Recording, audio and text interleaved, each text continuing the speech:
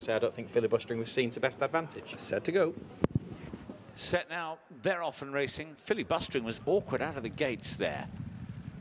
Dropped back last early on as they come down the straight for the first time. Mac 10 is up on the wide outside in company with Candle Wax. The two of them race together and on the rail that's Little Venice as they establish in early order. Little Venice just going on now from Candle Wax with Made in China nipping through on the inside of Mac 10. They're three and four. In fifth place is Oh What Fun, who's pulling pretty hard. Shadow of Your Smile next, and after that awkward beginning, Filibustering sits in last place. But there's a long way to go. Best part of a mile and a half still left to run in this racingtv.com maiden handicap. And Little Venice has taken charge a little bit here, heading down the far side. Made uh, Little Venice going on by two lengths, two in second place. Candle Wax, a slightly bigger gap then back to Made in China next to Mac 10. Then Oh What Fun, who's racing alongside Shadow of Your Smile. Filibustering is still the back marker. Racing then with the one mile marker now in sight, nearly at the eight pole, with Little Venice still leading up. Candle Wax, the Royal Runner in second position, followed by Mac 10 in behind those in third. Fourth place for Made in China.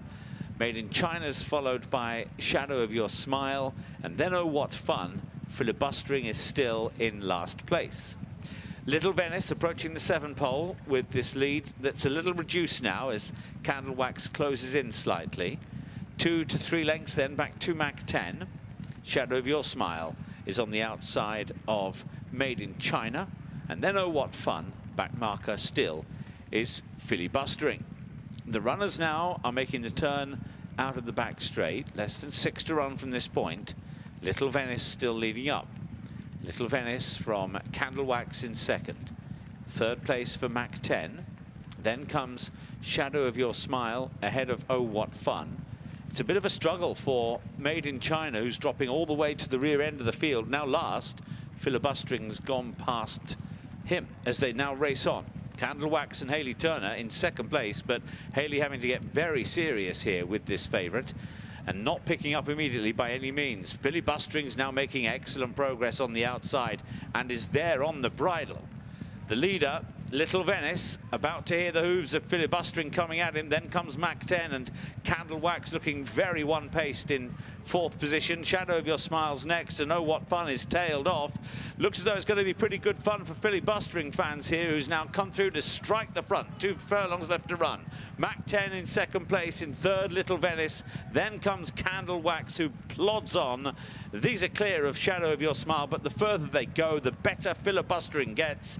And filibustering has opened up inside the final furlong to lead by about 10 lengths. Filibustering. David Allan and Tim Easterby are going to strike again. They won't have many easier than this all season long. Filibustering eased right down, but still won by 8 or 10 lengths to Mac 10 in second place. Tight for third, Shadow of Your Smile joined Little Venice and Candle Wax next.